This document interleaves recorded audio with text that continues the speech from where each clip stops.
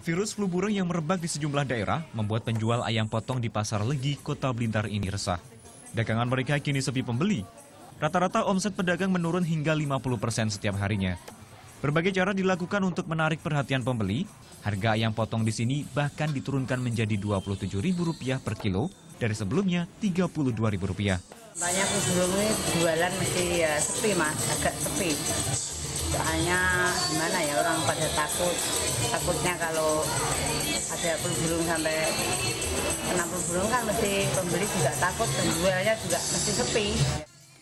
Pembeli mengaku takut membeli ayam potong karena tak tahu bagaimana cara membedakan ayam sehat dan tidak sehat. Ya mudah-mudahan pemerintah itu bisa menangani gitu kita nggak kena apa penyakit apalah gitu. Ribuan unggas di Banyuwangi, Jawa Timur dilaporkan mati mendadak dua bulan belakangan ini. Kematian unggas tersebut disebabkan virus H5N1 atau flu burung. Para peternak lakukan berbagai upaya untuk mencegah penyebaran virus.